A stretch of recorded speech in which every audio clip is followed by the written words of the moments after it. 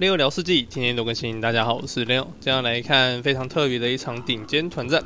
那这场有 Viper，还有这些 Modely 知名高手，还有西托，呃，很多。那这场比赛打的蛮久了，那我们就来看一下这场比赛吧。好，蓝方这边是选择意大利啊，这个意大利人团战来说也是不错的啊，还有这个佣兵可以用。呃，再来看一下这个红方，红方的队友是波西米亚。哎呀，波西米亚在外加哦，那这个防守上可能会有点需要有一点疑虑了，因为波西米亚是大后期文明哦。那他这张图是黑森林哦，如果他前线守不住，很容易刷刷赛。因为他的金矿跟石头果子都在前面，然后这边就是敌人家了，所以波西米亚跟这边前线哦，可能会有一个大开战哦。那我们再来看一下，同样是队友的紫色塞尔特人。塞尔特人的话，工程器的攻击速度是非常快的。呃，他在团战来说也有不错的表现，但是也是很害怕这种火器单位哦，像火炮之类的。呃，大部分的塞尔特的哎这个团战表现哦，都是打这个松兰武士哦，配差大通车的一个做法是比较多的，还有这个重型投车。弩炮的话会比较少见一点，因为太容易被针对了。好，那来看一下这个这个橘色啊，橘色是拜占庭啊，拜占庭的话是丹尼尔。那拜占庭团战的话，最大特色就是这个便宜的热射兵哦，一直跟对方换。那尽量帝王时代哦，打得越远的话越危险哦。嗯，因为它其实就只有热射兵便宜的一个特点而已哦。但是在黑森林这张地图里啊，这个资源便宜的效果并没有那么的强势哦，反而是单位的一个单位品质哦，反而是比较重要一点的。好，再我们来看一下阿兹特克。阿兹特克在团战表现呢，是圣物是个重点哦。还有这个僧侣战，好偏重要。还有这个战矛兵，为什么说战矛兵呢？因为是不用黄金的。呃，再就是它这个大量的这个鹰刺吼，应该是精锐鹰勇士哦，攻击力八加九，伤害非常夸张。好，不然就是剑勇啊，冲车哦，投车哦，也是阿兹特克的首选之一哦。那阿兹特克比较算是偏打前期会很强势的一个文明，像地出啊、城出哦，打一波其实蛮痛的。因为老鹰果这个城出老鹰豹很少人挡住，哇靠，这个人是呃呃野外吃鹅，我的老天鹅！哇，这家伙要是没点织布，他就死村嘞。他怎么突然点织布了？好，那我们来看一下下一个。哦，绿色玛丽人。那玛丽人这个文明呢，算是大后期很好用的一个文明哦，因为它本身没有黄金的话，也可以出落马。那落马的话，有这个彪悍精神，攻击也是贼高，好，可以一直用高攻击力的落马去跟对方互换。呃整体而言，玛丽的话最大特色是这个挖金矿持续三十 percent 哦，所以金矿数会会比下会比其他文明多一点。我个人觉得玛丽算是比较跟阿兹一样，是资源有序发展那一种哦。玛丽那呃玛雅那一种哦，不是阿兹。好，再来看一下黄色，黄色是 Viper，Viper 是我们的这场重点。那 Viper 这边是选择了伊索比亚，那伊索比亚应该是随机到的。那他的团战表现的话，也没有太特别地方，最特别应该是投石车这个单位哦，投石车跟巨型投石机。那这两个东西呢，它的这个金冠哦，可以让它的这个。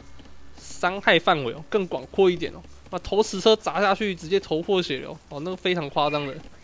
所以这个萨尔特不是萨尔特，伊索比亚这个后期哦要特别注意他这个这几个单位哦，尤其是投石车。那比较可惜的是哦，他这个除了呃他的步兵跟工兵很强，骑兵比较烂一点哦，没有什么太大问题。但他骑兵也没烂到哪里去哦，因为这个伊索比亚有大陆嘛。那我刚刚说这个重点还有火炮，火炮的话这个范围也是蛮夸张，所以它其实可以当这个波西米亚使用，算是有点算是波西米亚的弱化版虽然射程比不上波西米亚，还有伤害，但是这个范围哦，打的打在团战来说是非常好用的。好，那我们来看一下接下来这个 Modely 哦，Modely 这个文明呢啊是印加人，印加人在团战的表现最主要是使用枪骑兵哦，还有这个。呃，这个什么老鹰啊？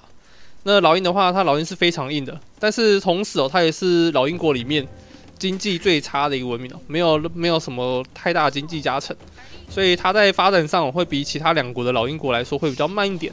但是同时哦，它后面的强军事来说，对它会有不错的效果。而且印加的话还有这个投石手，如果对方吃出这个步兵文明的话，像什么对方是老鹰国啊，人家出老鹰投石手可以把它砸爆啊，啊，或者是他打一个劲拥抱啊，投石手的话这个表现是不错的。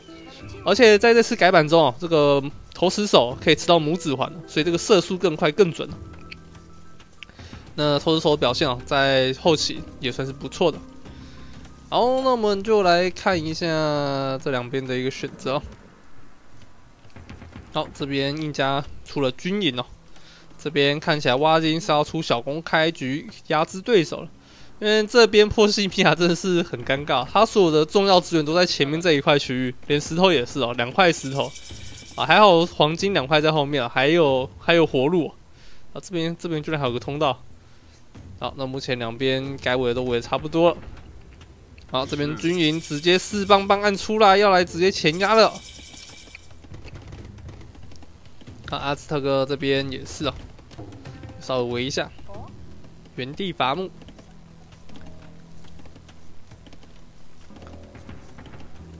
好，那 Viper 没意外的话，应该是会先直城开农。好，兵工厂四级都补下了。好，那我们来看下这边的一个进攻，这边进攻装甲步兵也好。拜登亭装甲步兵开局，啊，蛮特别的。那后面这边应该是会补毛兵哦，不然就是工兵哦。有有够多黄军补补这个工兵，然后再补一些少量毛兵哦，就可以克制对方的弓箭手的一个进攻。哎，这边要打进去了，修得回来吗？哎呦，收回来了！哎，很极限哎！这边要插一个塔吗？没错，开始插塔。我插塔比较容易进攻进去。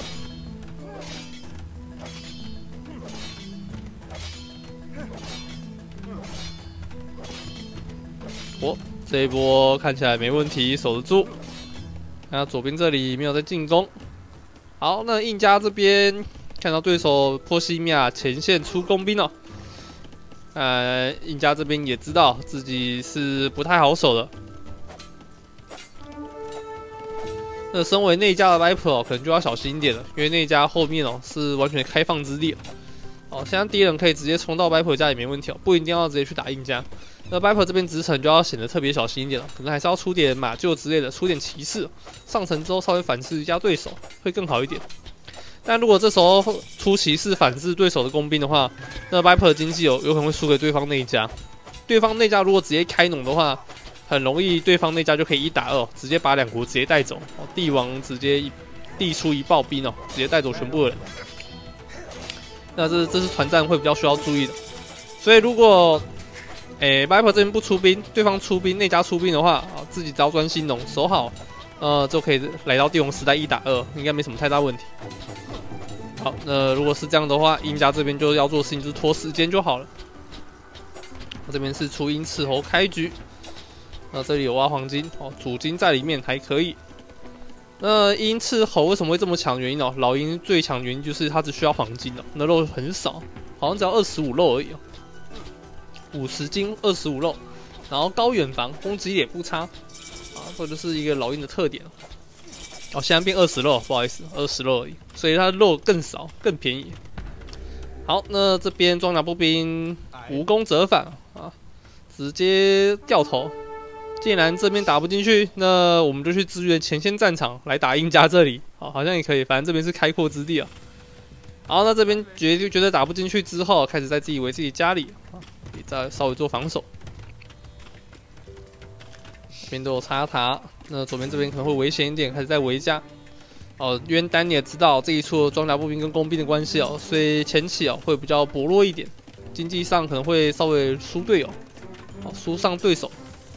那对手这边阿斯特克哦，经济看起来算是不错的，啊，呃还去外面大量吃肉，但这个灰色好像不是特别熟悉的感觉。是我的错觉吗？他这个吃肉的人有点上亿人在吃肉的感觉。那黑森林比较特别的是，它这个些有些地图、有些地形哦，是有非常大量的猪肉哦，你可以拉非常多村民哦，直接去去狩猎哦。像这里啊，这里有很多这个猪可以吃啊。好，来看一下右边的一个战况。右边战况，哎，这个 Modely 这边是出了鹰刺猴，然后直城。好，上到了这个城堡时代，很多的这个老鹰哦，开始在输出。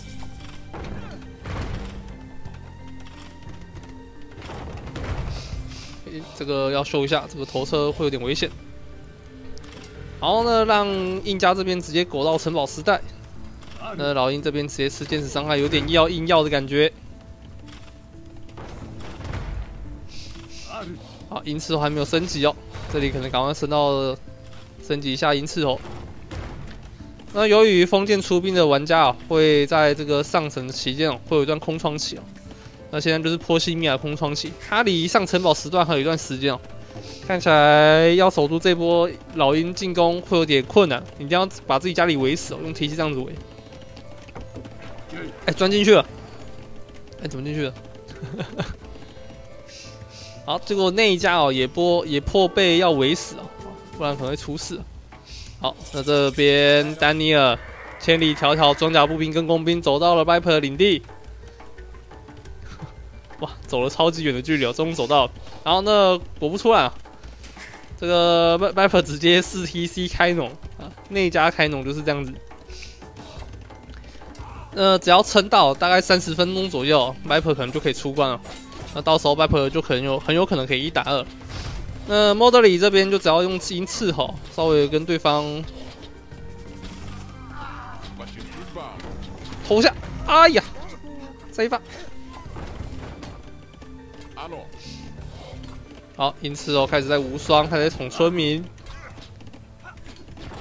家里完全守不住鹰刺头，鹰刺头要打的话，你要出骑士，不然就出装甲步兵。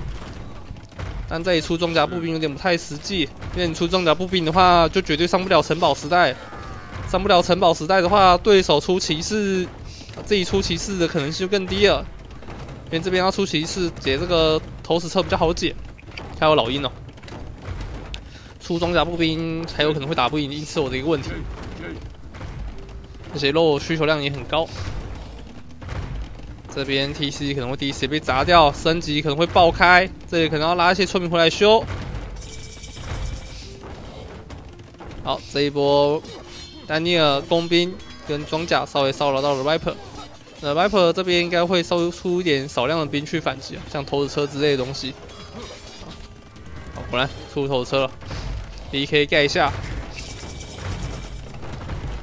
三台头车让他顺利上到了城堡时代，但是还是有点危险哦。这边上城堡时代这个 TC 可能也要爆了。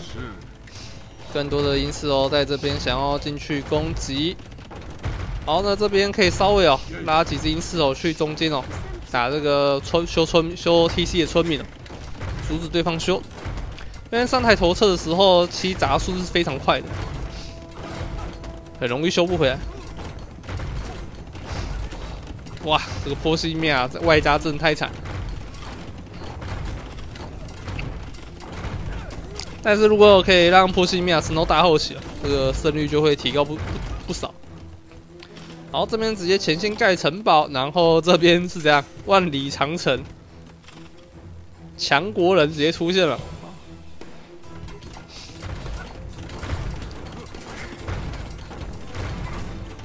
那这边因此后还在想要继续输出，这一波进攻工兵装甲步兵加工兵的进攻兵有杀到 Viper 的任何的资源，下了一个工程器制造所就直接撤退了。这边来尝试进攻印加这里，好，这边还有出弩炮又来串烧一下左边这边挖金矿村民，看起来左边这个地方那一家。还在农，然后这边看到 Viper 在农，自己那家也要农，哦，不然可能会打不赢 Viper。好，这边修修理到快没资源了，波西米亚疯狂用资源去修，但是发现自己已经没有资源了，只能派村民上去硬靠。但是这里非常多的一个鹰刺哦，在旁边直接在围巢，这边出来打的村民可能一直都回不去了，自己往后跑的一个巨。投石车赶快要来派村民修理，但是要派有点困难，因为家里有这个丹尼尔的步兵加工兵在外面，所以这边出来村民要来修有点困难。但后面有大量的鹰刺哦，直接过来反击，投石车直接砸了一波。这边再砸一下，哎呀碎呀，一下三只工兵，搞定！哇，这一波打得很棒。看起来波西米亚要凉了。哇，这边也打掉了，要用仅存的村民哦，打掉三台投资车。呃，家里这边直接收村防守。家里后面全部挖木头跟黄金的村民哦，都只剩下这个 TC 了。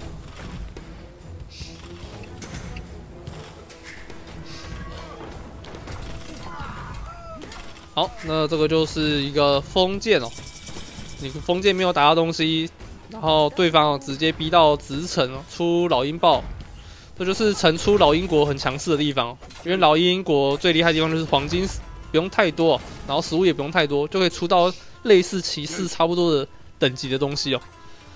所以这个军事上来说，老鹰国会这么强大，就是这个关系。很难守得住哦，这边没有开门怎么办？拒之门外，非法入境。这里想要偷渡移民，但是队友意大利人觉得你这个签证没过，不开放入境。这里的村民只能在外面被迫逃亡，怎么办？艾普在前线盖了两个工程器制造所，这里还是没有开门，这里不敢开，里面军还没有好。那意大利这边可能是要直接出出佣兵哦，直接跟对方互打。但红方已经没有了 TC，这边也来不及跑村民，村民全部死去。波西米亚已经没有 TC 了，丹尼尔这边也被进攻了进来。是。哇，波西米亚就这样正式灭国了吗？是不是没村民了？天下还有没有村民？哎，真的没有了呢。哎，波西米亚在这里就退出历史舞台了。哇，那这场为什么可以打这么久？我看这场的总游戏时间是两小时，一小时多哎。哇，那这样子三打四还可以打一个多小时。麦克这边是出了什么事情？啊，这个我完全不知道。好，我们来看一下继续这边战果。好，那这边阿兹特克巨型投石机僧侣战开始开打。那巴兰廷这边没意外哦，会出这个。强弩加上乐色兵哦，大大量骑兵，还有这个拜占庭圣骑兵哦，做一个 double。好，那 viper 这边哦，我们刚刚说的投石器来了，有这个金冠的伊索比亚投石器哦，这个攻击范围非常广阔。哇，这边有少量的佣兵直接杀了进来，直接爆砍工程器，哦，直接把这个城门敲爆。那这边投石器要稍微小心一点哦，不能敲到自己的队友。自己要再炸一下，嗯，这边 Viper 可以出一些弯刀勇士哦，防守一下。弯刀勇士是一个近防非常、近战攻击力非常高的一个步兵单位哦，虽然防御跟血量少了一点。玻璃大炮步兵，哇，这边佣兵很出场很强，成型速度很快。那这时候大家就会说，哎，佣兵到底有什么强了？佣兵这个单位在帝王时代初期哦，非常的猛，因为它不用任何升级哦，基本素质就很高了，而且跑速又快。哦，血量又多，你要想一个不用升级的单位，然后跑速快又可以打对方的步兵跟这个鹰刺吼，哦，可能骑兵有点五五开，但是它造价很便宜啊，那就是一个佣兵的好处。那佣兵是五十肉三十五黄金啊，黄金虽然贵了一点，但是肉比较少，好，那也可以在第一时间出来，乘出第一波防守跟进攻都相当好用。白朋转出了一些弯刀勇士，弯刀勇士直接去拆巨型投石机，伤很高，残血。好，应该拆掉，呜，死掉了一台。好，这边有一队直接来打白朋的家里，看一下能不能打到东西。好，果然这一波，意大利那家帝王龙一波直接派了大量的佣兵开图。哇！前线印加这边没有城堡，直接被毒烂。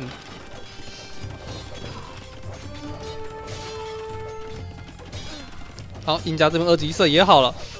那这边看这个城堡能不能起来？起来之后还要再点下这个躲射孔，不然这个佣兵也是打不到。好，那我们刚刚前期有说，那个印加有这个投石手可以出哦，打步兵非常好用。那目前印加这样子冲状况哦，要让他续出这些。投石手也是相当不容易的。好，那 Viper 这一波前压已经失败。这一波进攻虽然波西米亚已经没有呼吸了，但是靠着队友一打二的一个淫威，算淫威吗？啊，算。好，好，城堡盖好，赶快盖这个射箭场，来出这个投石手。然后来看一下左边战场，左边战场这边，子方丹尼尔加上这个 G A N G I 啊，这个也是高手级别的玩家，也是两千多分的。那他这边的选择战士哦，是塞尔特步兵，这个剑兵勇士哦，对上对方的剑勇，但这边剑勇互打可能会输，因为阿兹特克的剑勇会比较强。哎，但是这不是阿兹特克的剑勇哦，这个是玛丽的哦。玛丽的剑勇哦，是远防很高的一个单位哦，它远防有七哦，七加一，远防八。好，但是遇到投石车还是要贵。好，那白普这边爆出了大量的弯刀勇士，想要来反击对手的一个佣兵。那佣兵可能要再撑一下，这边投石手赶快出来，才有机会打得赢。好，白普的城堡开始守住各个方面的一个窄口，哎，但这边村民要被抓包了。这边这一波开战，这边是白普宣告失败。佣兵的一个数值来说还是比较好一点，虽然这里有十八加二的伤害，佣兵伤害不高，十加十，但是血量有八十滴。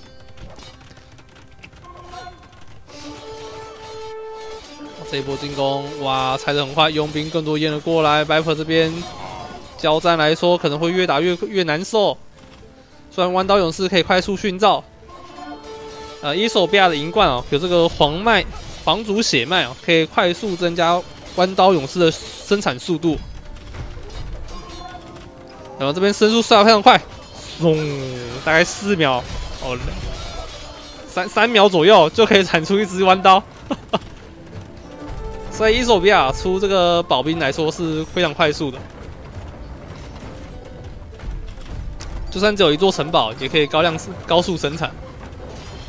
啊，非常大的一个弯道勇士直接打开一战，这边直接先来拆巨型头 C，应该可以拆到两三台没有问题，直接撕掉三台，OK。那正面这边城堡掉了，下面这边窄口堵住，那没有关系，弯刀勇士可以生产非常快速。好，看到左边战线，左边战线慢慢推了过来，剑兵勇士、塞尔特人加上投石器的淫威，开了一条空地出来。这条性能战线对阿兹跟玛丽有点难打。那这边待会拜占庭也会加入战场。呃，现在拜占庭的一个攻势是用僧侣去招降对手。好，那这边 Viper 开始有点守不太住了。那佣兵打火器单位也是不错的效果。打这个火炮、火枪哦，伤害都额外伤害，所以佣兵算是真的是蛮难守的。你用火枪又很容易被他贴。虽然火枪也可以打佣兵，但佣兵也可以打火枪。所以打这个佣兵哦，最好的方法就是出这个一堆强弩，然后固守阵地，然后加上大量的游侠去硬吃。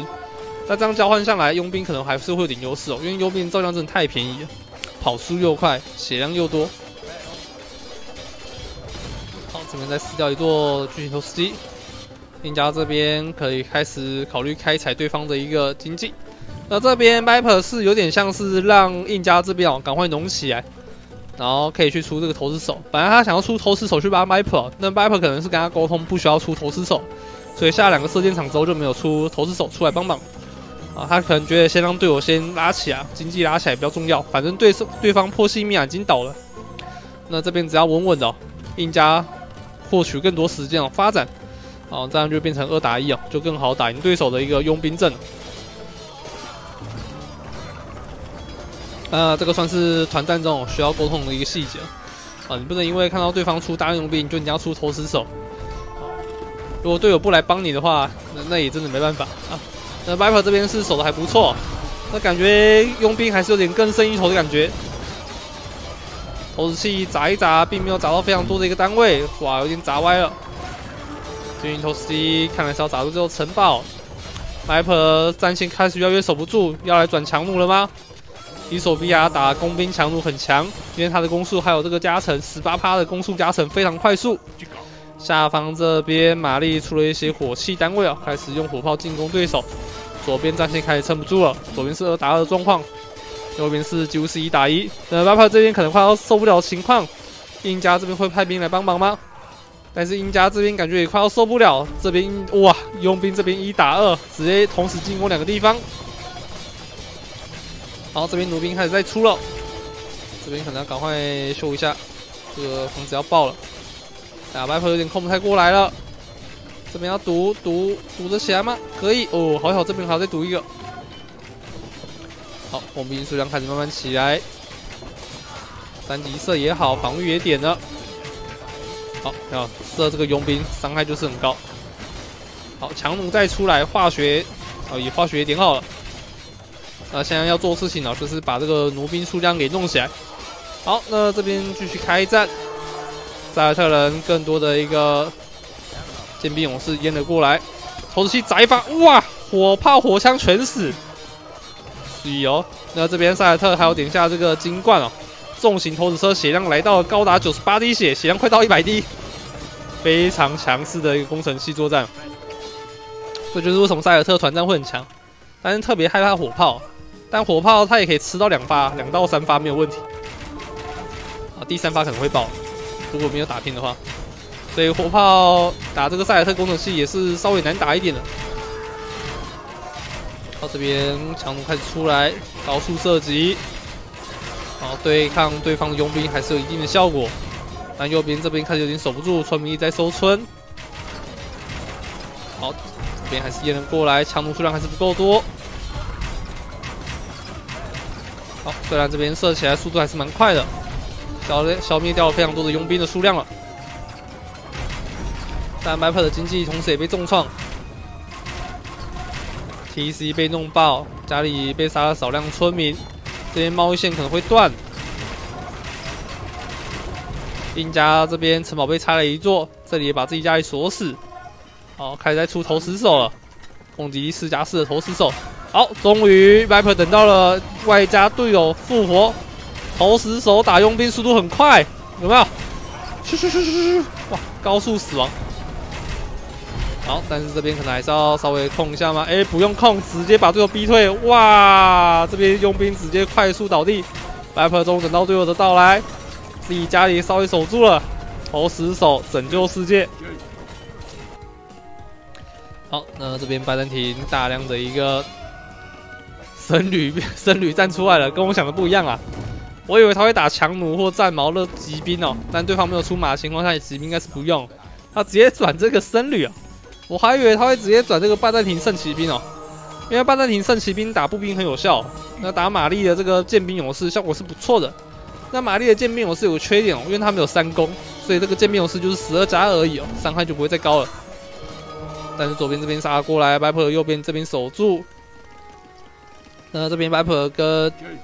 自己队友玛丽莫德里这边可能要赶快进攻，但是这边佣兵看到对方出了太多工兵，这一坨佣兵要去送哦。哇，这里没有，这里被打出个洞，没有我再补，完蛋！这一波佣兵进来，直接直击后方经济，左边战线会更惨。那这边可能变成 Viper 的左线战线会被拿下，那自家可能会爆开，因为这边战线也推到了门口，这里有非常多的僧侣。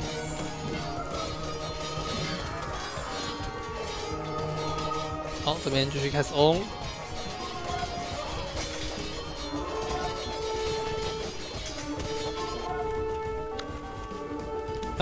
投石器，塞尔特投石器直接守在右边，遇到工兵跟这个投石手，直接砸一发可能就全倒。好，那意大利转出了轻骑兵，就要来打这些工兵，还有投石手。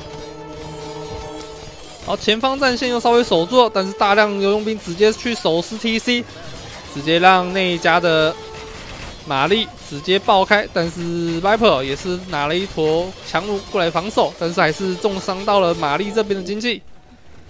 正面意大利家里补下更多麻将，要来直接反制对方的一个投石手，投石手只能被迫回家，要开始转兵。好，那佣兵已经到处乱窜，也开始在追逐这些贸易车队。好，像左边两边战线稍微休止一下，但这边的只有投石手的进攻并不是太好。家里这边 TC 被拆了两座，三座都被拆了，哇，这边很惨。好，强龙过来秀一下，这里还有一些暴勇士过来敲一下对方的佣兵。好，那这一波重创的话，左边拜占庭跟塞尔特就有机会可以打进来。好，这边再补一下新的一个防线哦。这里真的要补一下，这个是个大缺口。好，左边这边休战，让家里哦，玛丽有一个休息的时间。拜占庭跟赛特没有趁这一波进攻，有点可惜哦。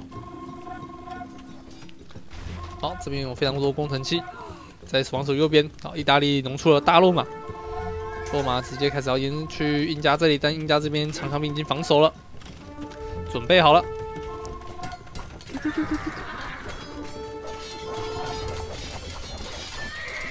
好，长枪兵对罗马的效果还是很好。好，正面战线这边大肉马，Viper 这边堵得非常棒，这里几乎没有被肉马绕进来。左边这里只有补一滴一点血，好，直接补第二层，因为他知道这边可能会爆，这边要不要拉更多村民来盖？但不能盖，这不是 Viper 的村民。哎呦，这个成本很危险，这里只靠投石手真的有有点守不住哎，这个落马数有点多哎。好，强弩过来防守。好，这边已经变成了异木城门，防御上会更好一点。好，这些暴龙士过来，稍微想要来防一下。哇，这个极限防守手不错。好，暴龙士直接走出来要来敲村民了。咚咚咚咚，一棒一只。哇靠！要打落马，四下可以死一只落马，很好。哦，但是后面的投石器迅速解掉了，还找到队友一堆落马？哎，完蛋完蛋，这边直接城门大开，完蛋没了，直接溜进来。哇，白普这边没控好，哇，落马无双。但左边这边大骑兵开始淹了过来，直接淹到了马厩的一个出兵点，但这个出兵点可能要往下救会比较好。这边骑兵也出到家里，哇！现在战况非常的混乱。这边肉马进来之后，左边这个战线呢，来看一下，左边战线拜占庭出了一些大量火枪，那塞尔特人一样出工程器，加上自己的步兵哦，做一个前线硬扛的动作。哦，那这边工程伤害非常高，现在目前是三打四的状况，波西米亚已经正式灭国。那意大利这边一个人撑着右边撑了蛮久的时间。那这边大罗马又再次来到了玛丽的领地，开始要来杀一波玛丽的一个村民，而且这边贸易线还被稍微被砍了，哇，直接重创贸易线，非常伤。三旅这边造墙战术的效果还不错，哎，居然还遭到对方僧侣，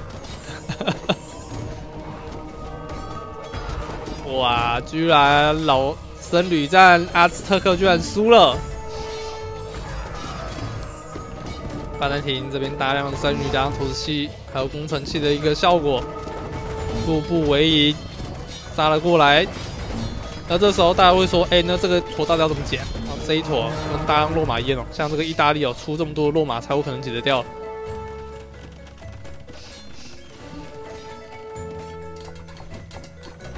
好，但是印加这边哦，转出了非常多的骑兵哦，还有工程器哦，开始要来屠戮了。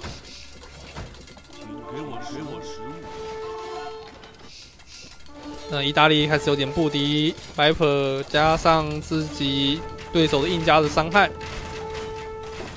这边要来防第二道防线了。那家里被拆建筑越来越多，然后会被杀到贸易线了。哇，第一队，哇，哇。长枪兵倒的非常快速，哇！战矛全死去，哦，这就是塞尔特工程器哦，非常的痛，攻速快，血量高，九十八滴。OK，大骑兵加上投石手，这个搭配非常 nice。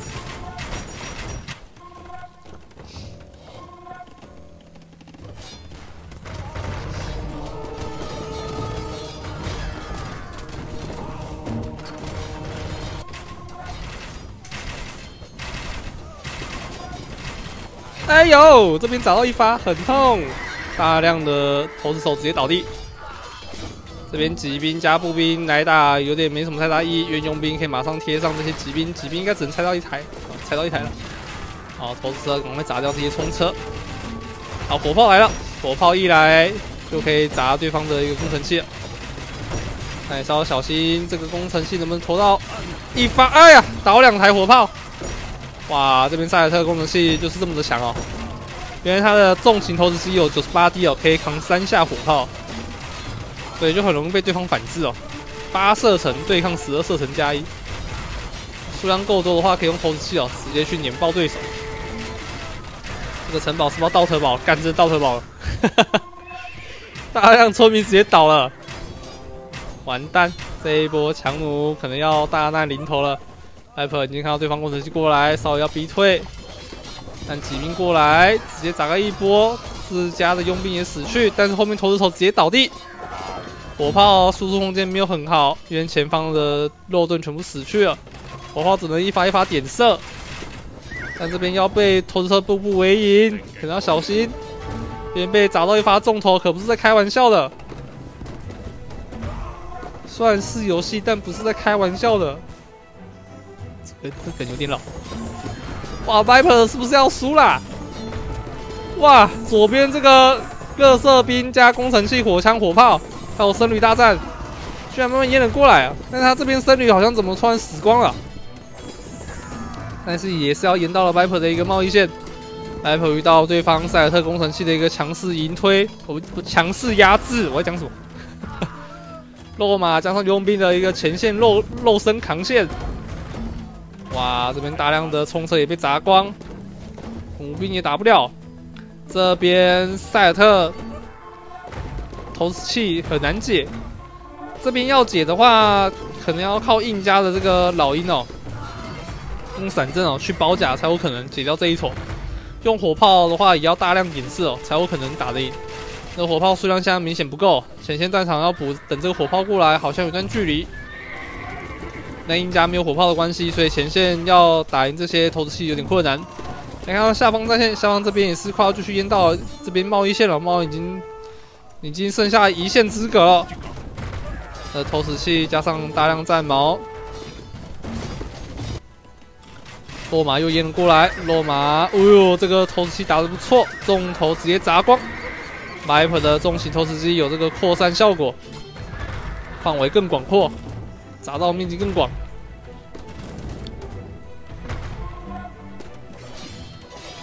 好，玛丽这边用飞刀手想要尝试再来打一波，但是后面还有圣女在招降，而且飞刀手有个缺点哦，攻击力很低，十三加二十五攻，血量也不多，所以只要被贴到的话，其实损失速度是非常快的。好，这里会被贴到，被贴到就完蛋了。这边想要再秀操作，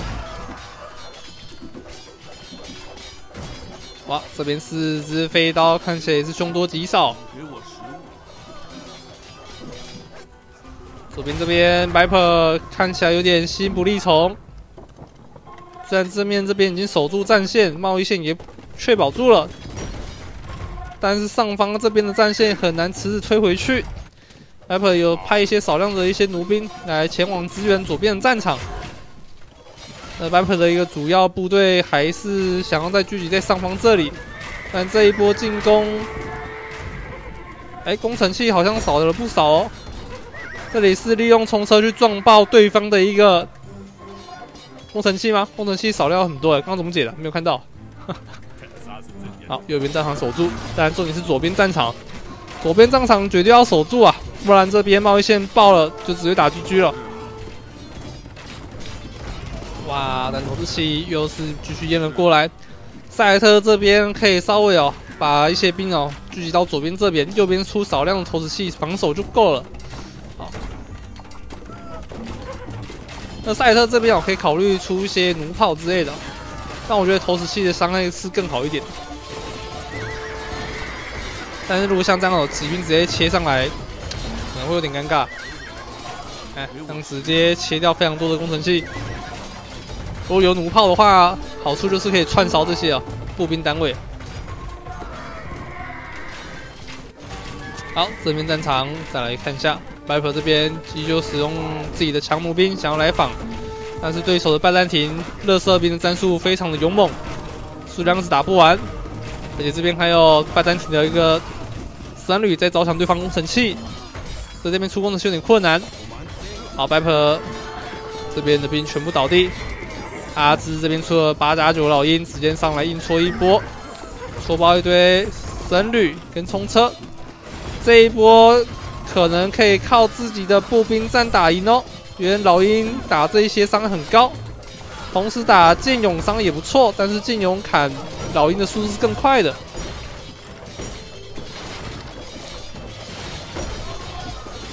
好，这边飞刀手尝试在输出，工程器血量非常多，三百七十八滴的冲车，砍了非常久，后面火枪出来。火枪一出来，英勇、英勇跟这些步兵单位可能就要小心一点了。好，先打完火器开始打，投石手还想要继续防对面的佣兵，但这边稍微有点危险，差点打破了，这边都残血了。好，那意大利的一个意图是想要偷偷打下面的，打出一个洞来，然后派大肉肉嘛。去下去直接打这个贸易线，这坨佣兵可以稍微守住。左边战场开始淹到了这边重重要的核心贸易处，这边已经可以看到贸易车队在这边进行贸易，但是旁边就是主战场，主战场有非常多的火枪兵，还有这些重型投石车。呃，拜占庭现在有钱到还可以出拜占庭圣骑兵，所以如果这边打步兵的话会很伤哦。因为这边靠一下步兵伤很高，好，巴兰提圣骑兵直接过来，来看一下这伤害。哇靠！一两刀死一只步兵，巴兰提圣骑兵出出关了。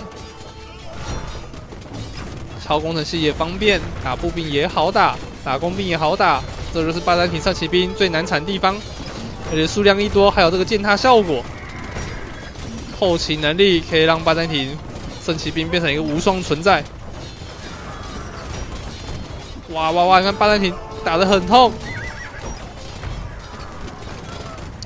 火象精开始在打这些贸易车队，投石器也开始过来，左边战线要倒了，城堡也没了，这边战线巴丹廷圣骑兵开始无双，想打谁就打谁。后面有更多火枪帮忙，火枪帮忙这些拜占庭圣骑兵，火枪兵给的伤害很高。贸易车队逐渐爆开，投车更多淹了过来。哎呀，好残忍的画面啊！哇，拜占庭圣骑兵超强，看这边尽情的无双，毛兵打他很痒。哦，步兵过来可以互相伤害，但是他打步兵又额外伤害。伤害超高，好像加成十几滴吧，打个好像三三下左右，一支步兵就会倒了。再加上这些后勤的伤害，持续碾压对手。这边火枪兵就淹了过来，贸易车队已经死伤惨重，基本上贸易全断。好，这边自敌自敌四级，所以贸易车队没有再往这边跑了，但是贸易线已经被断情况下。艾普这边居然会被三打四击败吗艾普可能会输吗艾普不来救一下左边吗？左边战线已经开始没了，但是右边战线也是压了进去，想要力挺这边贸易路线，但是离贸易路线还有一段距离。这边有要到这些贸易路线的话，要先击破这些大量军营。那这些军营要怎么打呢？也是很困难哦，因为你只靠投石手跟火器部队哦。进攻的话，还要遇到遇到这些投石车，投石车的防守能力还是不错的。哎，这边塞尔特没有点化学，这个没有火焰。来了，大量的投石器直接开杀，哎呦，倒一倒一排。好，但是这边火器数量够了，三台三台直接点发一射就可以射掉大量的工程器。点发，有没点到？Nice，好，但是左边贸易线已经爆开了，现在这边在做违建拆除作业。这边看到新领土太多违建了哦，不是自己家的建筑风格哦，全部改朝换面，拆掉一些旧时代的建筑物，怎么跟台湾很像？拆日据时代建筑，看风格看不顺，直接怒拆。好，但是巴丹型圣骑兵过来了。哇！但是强队长打这个拜登型圣骑兵伤害也蛮高的，但是强队长也是步兵单位哦，所以拜登型圣骑兵打这个强队长也是很 OK 的。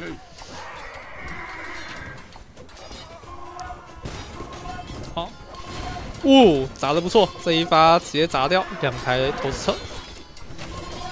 这个城堡印加能盖得起吗？有更多士兵过来盖，强队长都能出鞘了。哦，枪队长打这个步兵战、骑兵战都很 OK，而且他有多一攻射程，再加上后面的投石手，所以这一波正面应该是守得住。或者是还能撑多久呢？这边已经压到了内加玛丽的的领土了。那阿兹特克这边已经接近灭国状况了。这里现在是玛丽一个人在扛两国，呃，Viper 有去支援，但这边支援的数量不够多。而且还一直回来顾这边战场，这边上面战场一定要靠 Viper 的火炮去克制对方塞尔特的工程器才可以哦。因为本身印加是没有火炮，所以他没法自立自强。好，那 Viper 看起来也是有点难打的感觉。这边是最后的防线，贸易线拉到后方。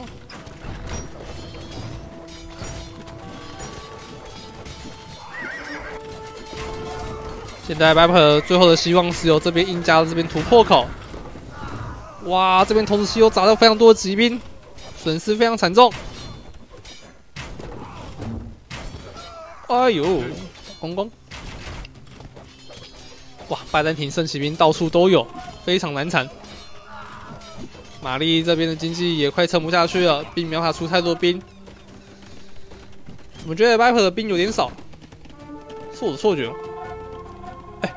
Viper Viper 怎么感觉村民有点少？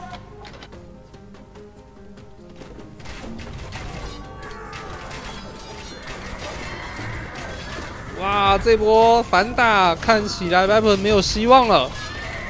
投石器越来越多，而且现在有火炮了，意大利火炮也出来反制。那这边战场拜占庭圣骑兵现在是变成无双存在了，现在想打谁就打谁，骑兵也能打。现在拜占庭圣骑兵会怕的东西哦，就只有个东西叫做骆驼。但是 Viper 这边只有玛丽有骆驼，那玛丽这边出骆驼又很又很害怕对方的火枪跟这个工程器，所以真的是难打。哇，十五台头车，Viper 看起来需要凉掉了。好，这边城堡又掉了一座，剩下三座城堡。贸易线又又又来到了贸易线的关卡，这个关卡能守住吗？白婆阵营步步为营。意大利现在有钱到还可以点下这个重装骑士，重装骑士好了，待会罗马又要变成重装骑士，钱又更多，全黄金兵种，这边大量骑兵。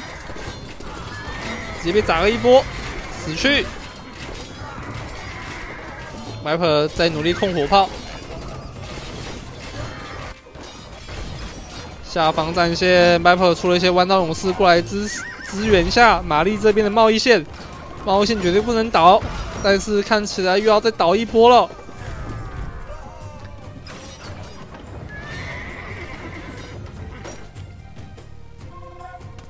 好，丹尼尔这边喊队友说有没有黄金？他需要更多黄金出拜占庭圣骑兵。哇！结果上面这边战线本来是印加这边推进去，现在是要变成防守状态了。塞尔特的投石器团战就是特别强。好，那这边大风车直接顶了上来，更多的拜占庭圣骑兵。感觉这个拜占庭圣骑兵真的很扯。好像骑兵有有 counter 跟没 counter 是一样的，你看瞬间死去，哇！弯刀勇士两刀死一只，无双的存在，主宰战场，想敲谁就敲谁，连连工程师也可以哦，工兵也可以靠，砸光。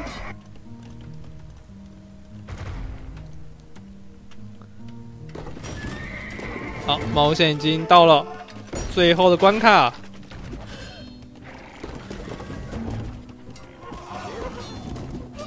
好，城堡想要努力把这些投石车给砸掉。哇，这个没有空，再投石车，临时先砸一发，给我来不及，死去。火炮这边 map 没有控好，直接倒地。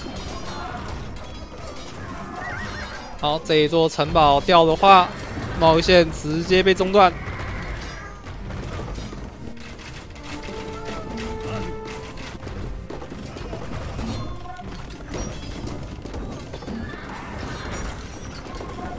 哇！直接砸贸易车，太狠了！这边互砸，这座城堡哦看来也是要爆了。哇！我真的没有想到，Viper 居然四打三也会输哎，太扯了！哇，是因为 Viper 这边有两个老英国的关系吗？印加跟阿兹。哇，看来团战选这个老英国强，真的是要强在成出哦，跟我开局讲的一样。老鹰的成出真的是很猛，但是就是要找对那个时间点，那个时间点过了，到大后期，老鹰国没有火系，真是巨大劣势哦。好，这边打出了巨巨，哇，这边真的打的很棒哦。我觉得这边是靠着这个这个上方是靠意大利哦，佣兵加上自己大量的一个肉马去扛住了上面的战线那左边这边哦，是靠着这个拜占庭哦。的圣骑兵跟跟这个僧侣哦，前线招降对方工程器哦，慢慢推进，然后再加上自己的塞尔特是主要重点哦，塞尔特是这这场 MVP 哦，投石车各种砸爆，哦，砸爆下方战线，右边战线也各种砸，只要投石车一直活着，基本上就不会倒，战线不会倒，就只有进攻的份了。那这边我真的觉得 Viper 他们居然没有掌握时机哦，第一时间去把上面这边给推进去哦，有点可惜。因为巴克有有一段时间哦，是过来跑去救左边这边哦，那还有去稍微防他中这个位置。当然，这个位置是一定要防的，这个不防的话可能会倒更快。但是我觉得巴克感觉经济没有那么好，兵感觉有点出的零零散散的，没有想象中那么多的单位哦。他单位其实很少，猫的车队五十五，然后僧侣头车各一两台哦。那我在想，是不是因为他们是有沟通哦？对对方倒一国的关系，所以自己也也不能出太多兵哦之类的，我不太确定啊。但感觉明显哦，Map 这一场并没有打得非常亮眼啊。嗯，就是他的工兵啊，还有火器啊，投石车并没有做出一个非常好的一个反制。那弯刀有事一直也在有在出哦，但是也是送了蛮多的。但是有可能是遇到对方的 这个塞尔特的投石车哦，所以导致他的这个自己投石车跟火炮表现就不太好。那 Viper 这个有可能是受到塞尔特的关系哦，所以没法打出一波漂亮的会战。那伊索比亚这个文明哦，后期也是相当难打。我觉得他最特别的一个后期打法，应该是打这个头车加火炮，然后再加上自己大量的一个工兵哦，全黄金兵阵容。那骑兵不出，对方骑士来就用这个火炮加头车，还有自己的强弩去射掉这些骑士。那对方出工程器，就是靠自己的火炮去对应就好了。但我不知道是不是 Viper 一直有给队友黄金的关系哦，所以导致自己的经济一直没有起来，然后没有出那么强大的黄金阵哦，扛住一个战线。好，我们来看一下经济状况啊，看一下这边进攻方面，Viper 这边是，哇靠，这边是，这边是给了很多资源的意思吗？好像是哦，一五五五九，哇，Viper 是给队友大量资源哦，但是却没有让自己出非常多的黄金兵种阵。黄金单位哦，去支持自己的战自家战线哦。我看起来 Viper 这边 真的很可惜，我觉得 Viper 应该是会赢的，可能是给太多资源哇，这边遗迹还捡了三个，Viper 就是 Viper，但这边塞尔特更扯，资源经济量六万，这边是收还是送啊？我有点看不太英文，这个 S E N T，S E N T 是什么呢？我来翻译一下。发送嘛，对啊，应该是送。这边塞尔特跟迈普两边都送了很多资源给队友。那意大利是收了非常多的一个资源哦，所以可以让他自己战线可以拱住。那半导体这边算是比较算是撑住战线而已哦，用这个大量热射兵加自己的僧侣僧侣战打赢了。好，那看起来这一场战争也是相当精彩哦。那我们的影片就差不多就到这了。那如果我们喜欢我的影片的话，请在帮忙按下订阅，我们就下次再见喽，拜拜。